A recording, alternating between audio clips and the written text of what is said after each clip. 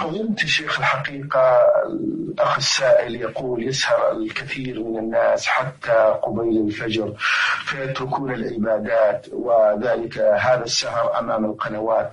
فلعل لكم توجيههم حول هذا الموضوع. هذه خسارة عظيمة السهر على القنوات. لو لم يكن فيها إلا أن من يسهر عليها يتخلف عن صلاة الفجر ولا يستطيع أن يصلي الفجر. والوسيلة إذا كانت تؤدي إلى محرم فهي محرمة. فالسهر الذي يؤدي إلى ترك الصلاة هذا سهر حرام.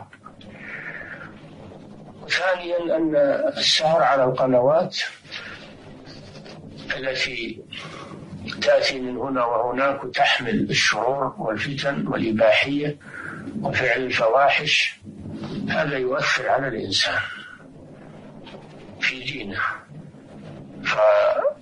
فيتأثر بهذه القنوات فحينئذ يفعل الفواحش ويرتكب الذنوب لأنه يتأثر بما يفعل في هذه القنوات وما يشاهده فهي تربيه تربية خبيثة وتربي أولاده ونساءه تربية خبيثة وثالثا أنها تحمل على الاقتداء بهؤلاء وتقليد هؤلاء والتشبه بهم في أفعالهم وهيئاتهم.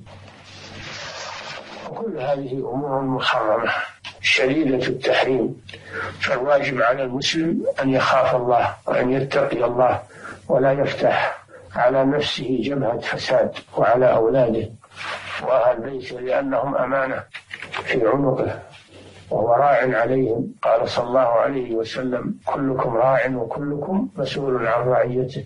الإمام راع ومسؤول عن رعيته. صاحب البيت راع في أهل بيته مسؤول عن رعيته.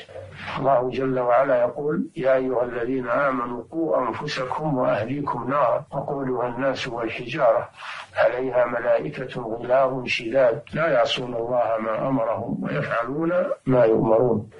الواجب على المسلم أن يخلي بيته من هذه القنوات الفاسدة المفسدة وأن يتقي الله عز وجل في نفسه وفي أولاده وأهل بيته وأن لا يكون قدوة سيئة لجيرانه. نعم.